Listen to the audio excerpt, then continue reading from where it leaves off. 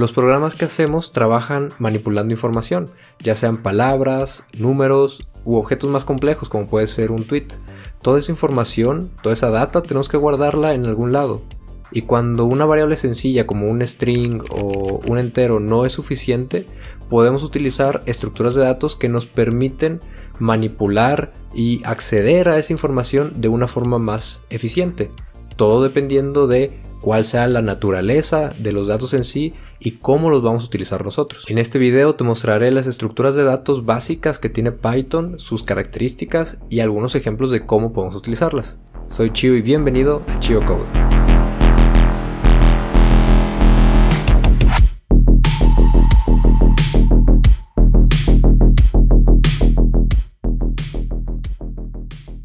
Ya en un video anterior estuvimos hablando un poco sobre las listas. Si no has visto el video te lo dejo por acá en las tarjetitas. Pero vamos a repasar un poco sobre ellas para entender mejor las tuplas. Las listas son lo equivalente a arreglos en otros lenguajes. Son colecciones de datos con un orden establecido que podemos acceder a sus elementos a través de índices y que son mutables lo que significa que podemos agregar elementos, borrar elementos o modificar los que ya están ahí adentro. Las listas son la estructura de datos más sencilla que podemos utilizar en Python para guardar un conjunto de elementos. Y las tuplas son exactamente igual que las listas, pero son inmutables. Lo que significa que una vez que la creamos, la tupla no la vamos a poder modificar, ni eliminar sus elementos, ni agregar nuevos, ni modificar los que ya están ahí.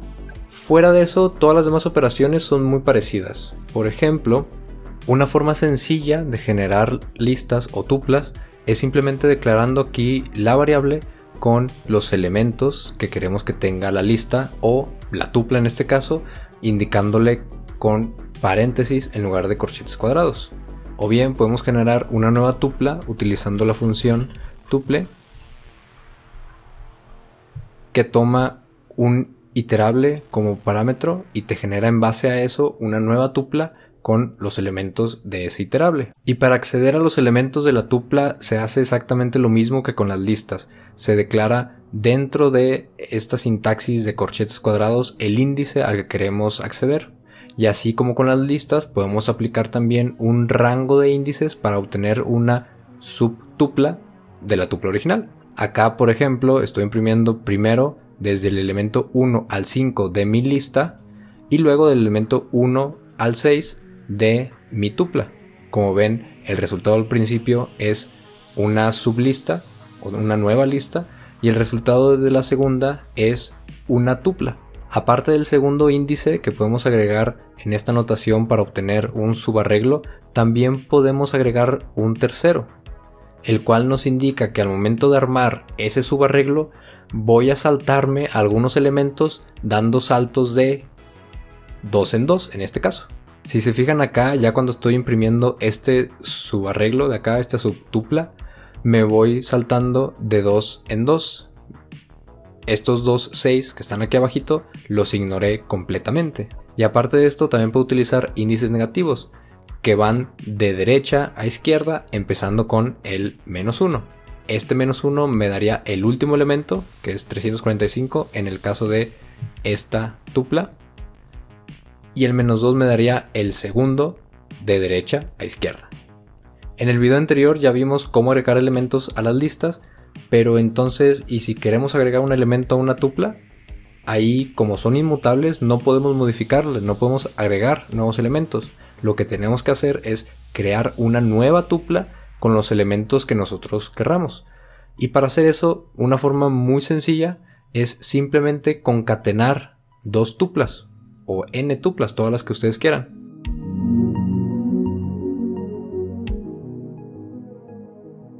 Y para hacerlo simplemente las concateno con el operador de suma, así como lo hacíamos con los strings. Una vez que lo corra, ya me aparece mi nueva tupla con los elementos de mi tupla y mi otra tupla.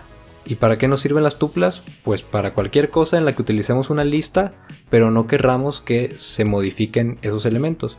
Puede ser simplemente para guardar una serie de datos en donde ya sabemos que nunca, nunca se van a modificar.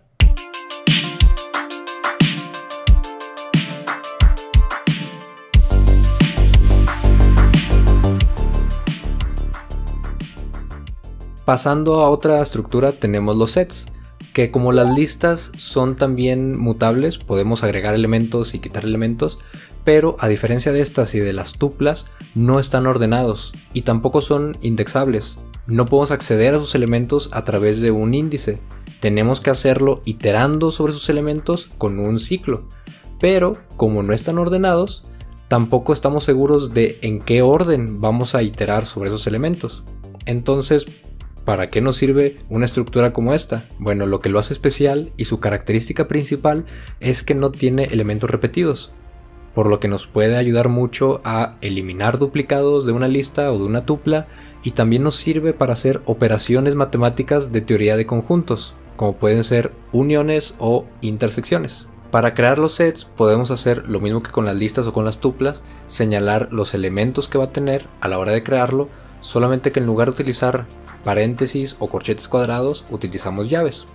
También podemos utilizar la función de set pasándole un iterable y fíjense acá cómo estamos utilizando la propiedad que tienen los sets para eliminar de esta lista estos elementos que están repetidos. Una vez que ya imprimo el set en sí, ya no aparecen dos veces el 3 o el 5. Y como los sets son mutables, puedo modificarlos utilizando todos los métodos que tiene adentro. Acá, por ejemplo, estoy utilizando add para agregar un nuevo elemento a este set, pero lo más interesante es cuando nos metemos ya a las funciones matemáticas de teoría de conjuntos. Aquí, por ejemplo, estoy utilizando el método de unión para fusionar los dos sets en uno solo y así tener de los números pares y los números impares los números naturales. Y así como la unión, los sets tienen también otros métodos para sacar la intersección, la diferencia o operaciones de teoría de conjuntos.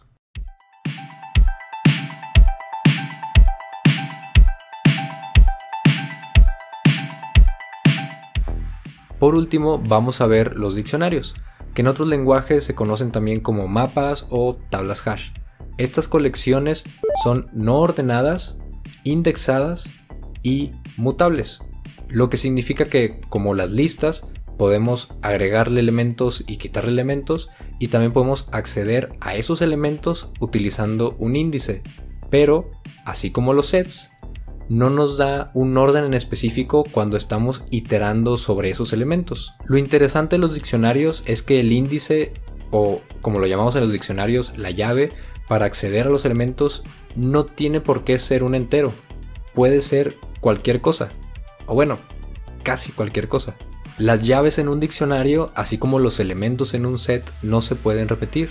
Por lo que si usamos una llave, como puede ser un string Tomás, y le asignamos algún valor, y después queremos utilizar la misma llave para otro valor diferente, lo único que haríamos ahí es reemplazar el valor anterior con el nuevo.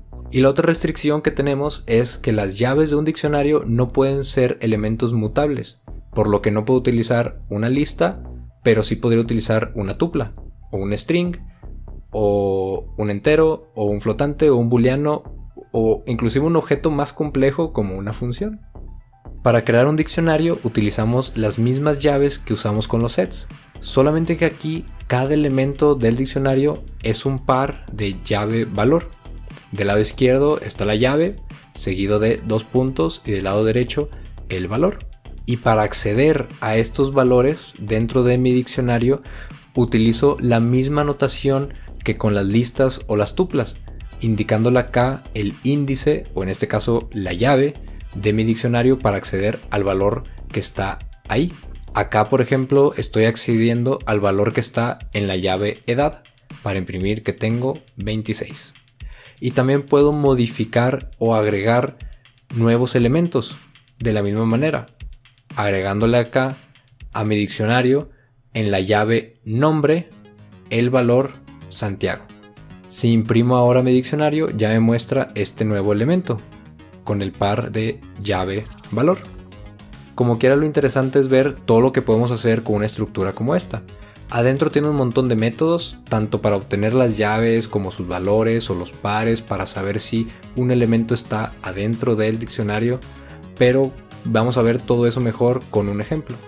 Vamos a hacer este ejercicio en donde tenemos varios casos de prueba y en cada caso de prueba hay una lista de productos con su precio y otra lista de los productos que queremos comprar, con cuál es el producto y cuánto de ese producto queremos comprar. Al final, por cada caso de prueba tenemos que imprimir cuánto tenemos que llevar de dinero para comprar todos los productos. Así que vamos a darle.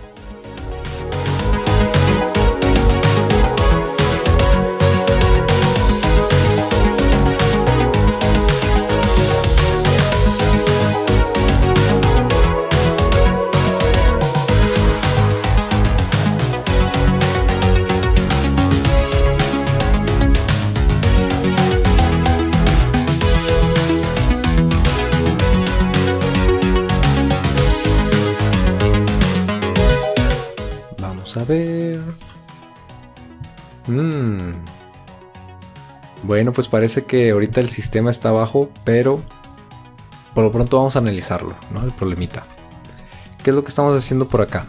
Hey, ¿qué tal aquí Chido el Futuro? Solamente para decirles que ya revisé la plataforma y el problema está aceptado. Así que nada, seguimos con la explicación. Básicamente leemos primero n, que es el número de casos, y luego por cada caso que voy a tener, tengo que leer cuántos van a ser los elementos que está vendiendo la tienda, ¿no? Esos son los productos. Voy a inicializar un total que va a ser mi precio al final. Voy a también inicializar un diccionario de precios en donde por cada producto que yo tenga ahí voy a agregar como llave el nombre del producto y como valor el precio que tiene dentro de la lista. Después voy a utilizar ese producto, ese nombre del producto para en mi lista del carrito, ahora sí utilizar el precio que extraigo de mi diccionario con el nombre del producto y multiplicarlo por la cantidad para de ahí sacar el total de lo que me va a costar X número de ese producto. Al final voy sumando todo en mi variable total y luego ya lo imprimo con el formato que me pide. Y este es solamente un ejemplo y pude haber resuelto el problema utilizando otra cosa sin utilizar diccionarios, pero me facilita mucho el tener este tipo de estructuras. Y así como podemos usar diccionarios, podemos usar también los sets o las tuplas para facilitar nuestra resolución de problemas. Sería todo por hoy, les voy a dejar abajo en la descripción como siempre varios problemitas para que practiquen utilizando diccionarios, sets y tuplas. Déjenme sus dudas abajo en los comentarios y si les gustó el video regálenme un like y no olviden suscribirse para que no se pierdan el siguiente. Bye.